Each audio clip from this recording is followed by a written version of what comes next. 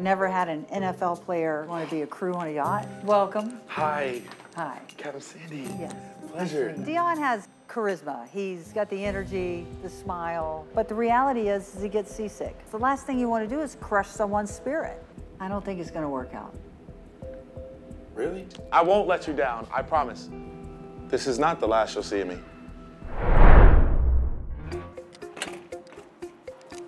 Come on in. Hi, Dion. Well, how are you? Pleasure, Oh, pleasure. good. Captain Dion. Lots has changed. Let me show you around. This is a couple of our trophies, a lot of things that we've done well here.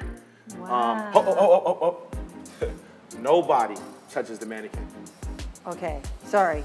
Right, we gotta follow directions Okay. here on my ship. I apologize. Yeah, this is our practice facility. Um, Very cool. Yeah. Yeah, this is a this is very cool. uh, serious piece of equipment. We don't play on We- that oh, at all. oh, so sorry. not even a little bit. It'd be great for our boat, though. Like, It would, but not. Yeah. We don't play. I, I'm sorry. It's it's fine. Yeah, You'll learn. This is where we do our power lifting and we do our big weights. You know to get strong. Yeah. that's pretty awesome. Look at the knot. Did you do that? Like I know how to tie a bowline knot.